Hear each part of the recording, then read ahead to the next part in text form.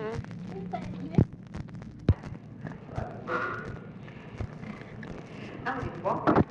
Hello? Governor Paul Johnson, 90. All right, you on the Attorney General in there? Yes, sir. He's on the other line. Tell him that I'm talking on that call now. Yes, sir. Thank you. Just ready, sir. Governor?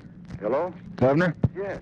Lyndon Johnson. Yes, sir, Mr. President. How are you? Fine, hope you are. Get along fine, thank you. Uh, I was talking to Jim Eastland this afternoon, and he told me uh, after he talked to you, he called me back and said that you had, uh, uh, you were deeply concerned about this situation as I was, and yes, we've been doing everything that we possibly could to solve it and he said that as possible.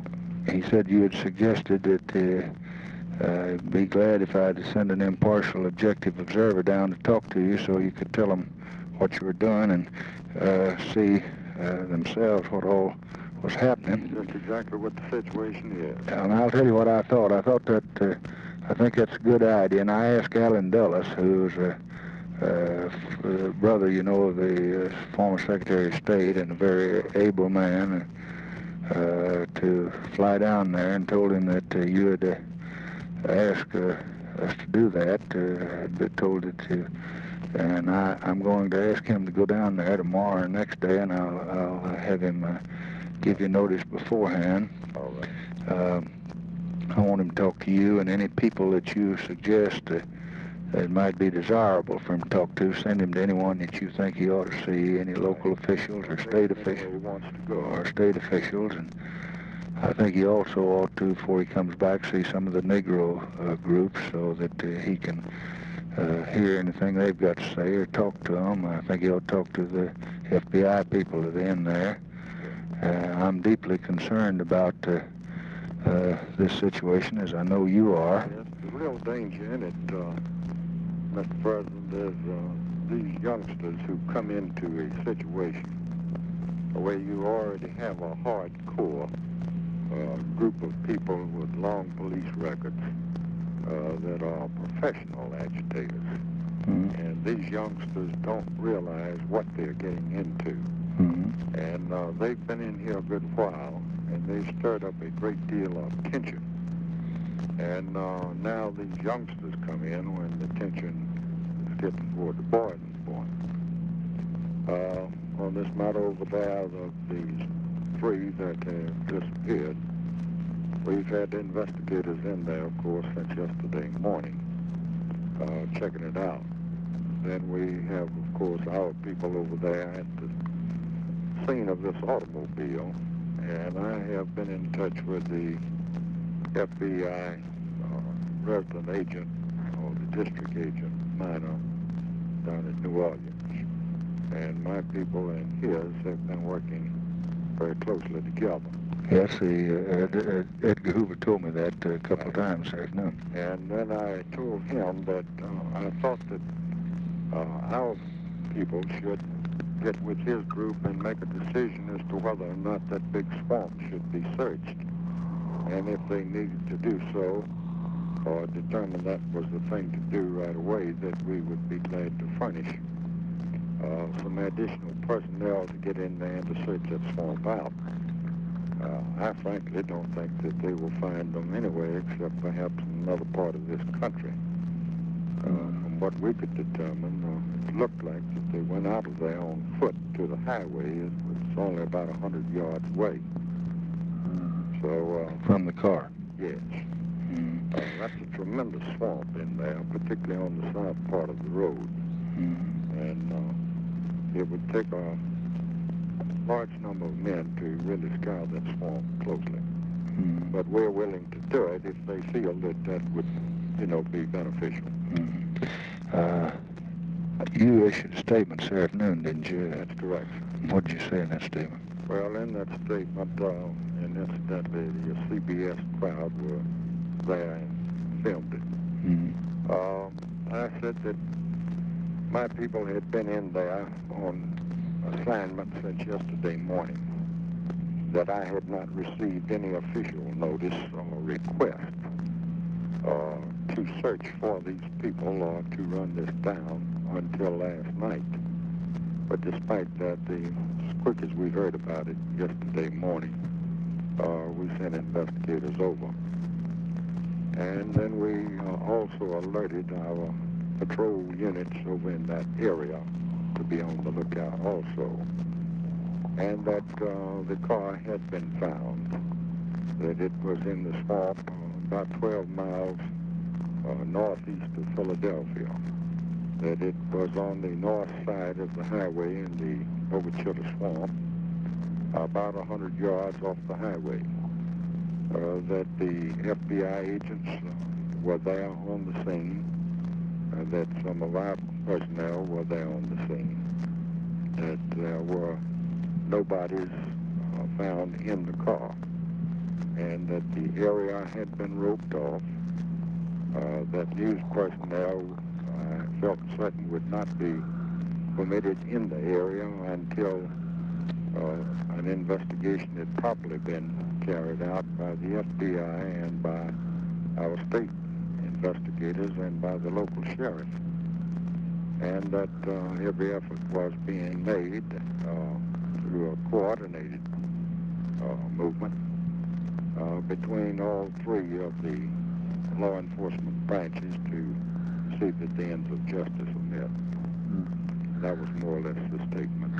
Mr. Hoover told me that you'd made it, and it pleased me very much. Uh, uh, we want to cooperate with you in any way in the world that we can. We know what a, uh problem it is, and uh, we want to make available all facilities that the federal government has that we can to you and work uh, uh, work with all of our people there uh, and our equipment to uh, uh, try to locate these bodies. Now, CBS has got out a report that uh, uh, they'd located the bodies and uh, they found the bodies. You know anything about that? I know nothing whatsoever about that, and if that were true, uh, the investigators over there would have contacted me immediately. I believe so. Uh, CBS called say the student bodies had been found. Uh, I don't know whether I just got that since I started talking to you. no, I, we do not know if they have. We we haven't found out. But uh, I'll certainly be delighted to give you a ring or to give someone that you may designate. Wait just a minute. Hoover's calling us on the other phone now. Let me see what uh, what he says. Uh,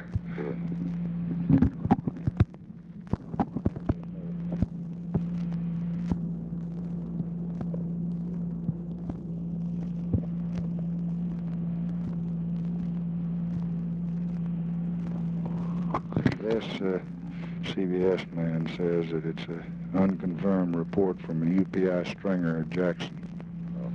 UPI still has not carried the story. No. I feel that if they had located the bodies, that they would have notified me immediately. Uh, The parents were down. I've got to say something tonight, and I don't want to. Uh, I want to contribute to a solution and not add to a problem. uh, Uh, You see what the big problem is down here is this. Uh, suppose we had a half million marshals in here. You could not have prevented such a thing as happened in this particular instance.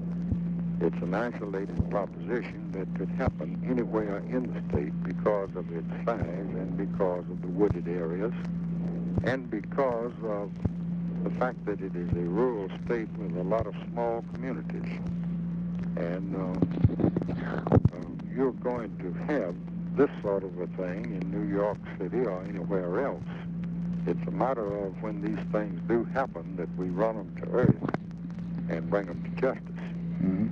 But uh, this sort of thing could not have been prevented, regardless of what anyone had done. Uh, that's our big problem here, and it would be in Texas, or Arkansas, anywhere else.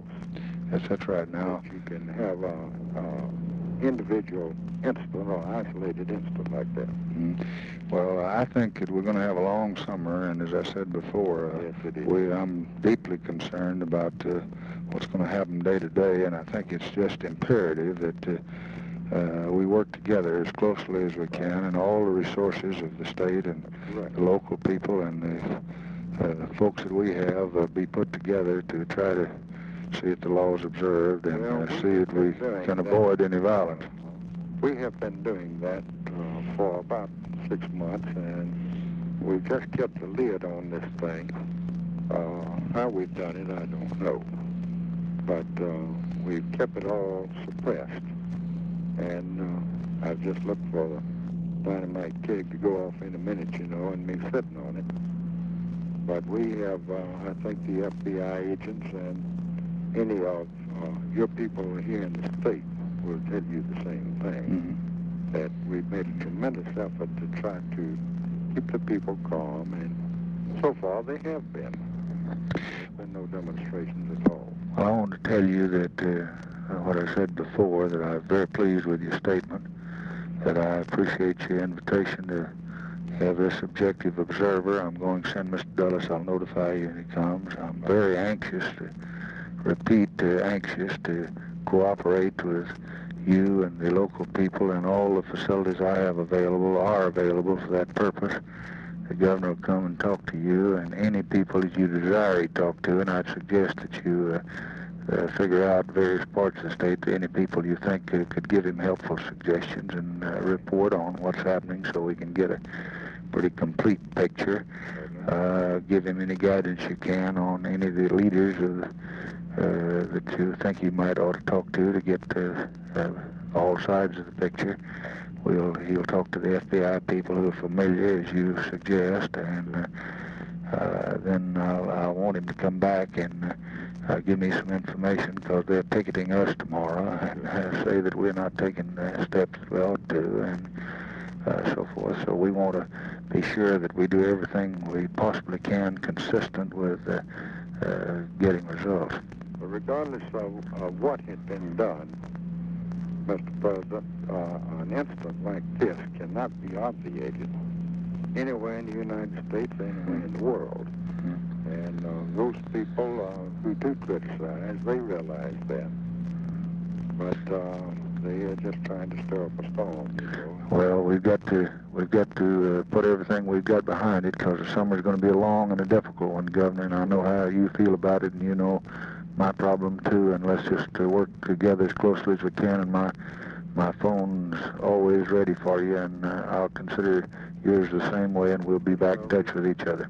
Fine, and I do appreciate you calling me so Thank you. much. I'm looking forward to seeing you next week. And anything that you think that I can do Well, uh, to help suppress this situation, I wish you'd let me know. Uh, I'll sure do it. I just hope you appeal to all of them to continue as you did today to uh, observe the law and everybody uh, follow it and uh, let's have no violence. That's, that's fine. we will reply. Thank you. Yes.